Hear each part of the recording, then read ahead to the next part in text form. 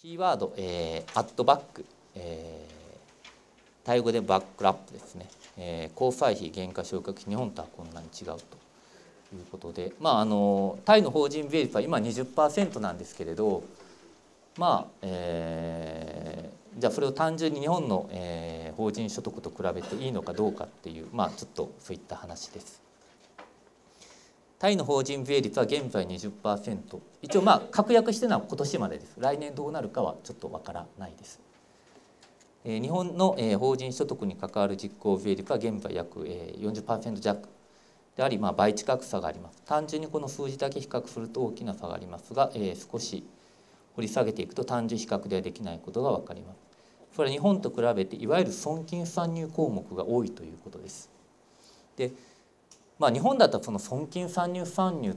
えー、項目っていうのはまあ一般的に中小企業さんだと多分まあ交際費がまあメインであったと思うんですけど、まあ、タイの場合はそれ以外にもまあたくさんあります。えー、損金参入というのは、えー、会社の利益計算では費用で、えー、計上されているが、えー、税法上は、えー、損金の額に参入されない金額のことを言います。まあ、会計上は費用なんだけど税務上は費用でないと。日本では経理事務員の間であまり会話として出てきませんがタイの経理スタッフの間ではよくこの言葉を聞きます。えこれはバックラップだねと、まあ、損金不参入だねと。えバックラップは、えー、日常の言葉で正式な、まあえー、歳入法定に認められない支出と言います。タイ語でブラックは加えるですね。ラップは戻す。といった意味で会計上の経費としては足す。でも税務計算上はまあ戻すといったことです。英語ではよく「アットバック」という言葉があの、はいえー、使われて、えー、います。えーとですね、なぜバックラップが、えー、損期参入が多いかといえば、えー、領収書やタックスインボイスとの関係があります。えー、先ほど言ったようにタイでは社名住所が正確に記載されてなければ、まならずまたタックスインボイスについてはその他も必要な記載事項があるため税務上の費用とならない領収書等が出てくることがあります。そのためこれはバックラップだねとなってしまいます。またタイでは取引間の源泉徴収税額の発生頻度が非常に多く支払い先に源泉分を控除して支払うのを忘れたまた控除して支払う場合には書類を作成し手渡しや郵送する必要があるため少額であれば控除せずに相手先に支払うこともあります。その場合源泉徴収義務者として税金は税務署に支払わなくてはなりません。えー、と先ほどの話です。この分についてもバックラップ損金不参入になります。追加で払いさらに税務上の経費にもならないということになります。あとまあ現地社長さんが一番気になるのは交際費交際費の損金計上の枠はとても非常に少なくなっています。資本金と年間収入のどちらか多いのが多い方の0.3%です。仮に資本金400万バーツで、えー、年間収入が1000万バーツ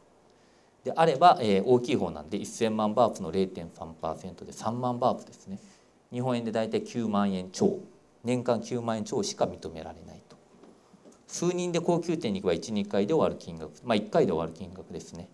で日本では現在接待飲食費については中小企業800万円までは金、えー、全額損金計上であり大企業についても、えー、半分になると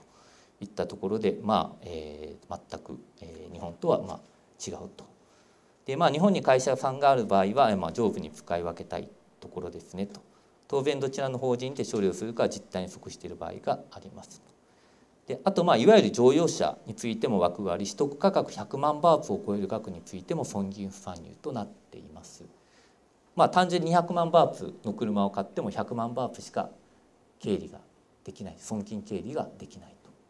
で当然そのトラックとかそういったものはまあ全然経費として参入されるんですけどいわゆる社長さんが乗るセダンですねああいったタイプは100万バーツまでしか認められないと。で100万バーツっていうとまあ300万超になるんですけど、まあ、タイは車がすごく高くてですね、えー、とまあ売れ筋のトヨタというばカムリ日産で言えばティアナホンダアコードですね。クラスはもう100大体40万バーツぐらい、えー、します。そういったクラスの車でもまあ全額損金はまあできないというようなことになっています。だからまあ、えー、強いて言うとなかなか、えー、節税っていうのがなかなかないっていうことですね日本であればまあ結構高級車を中古資産で買ってきてですね2年の耐用年数でドンと経費計上するとか、えー、まあ交際費を、えー、まあまあ儲かってるからまあ使おうかなとかでまああの役員さんの報酬を上げればいいかなっていうまあいろいろあるんですけれど、まあ、タイの場合はえー、役員報酬上げてもですね所得税の方が、えー、高いので結果的なあの損、えー、節税にはなならない。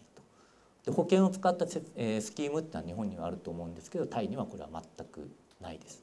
あと短期前払い費用の特例云々もないです。で当然先ほど言ったように毎月バットの申告源泉の申告をカチカチっとしていってるので、えー、遡って、えー、どうこうするっていうことも当然できないということでなかなか、えーまあ、タイの税務署はなかなか賢いなというような印象です。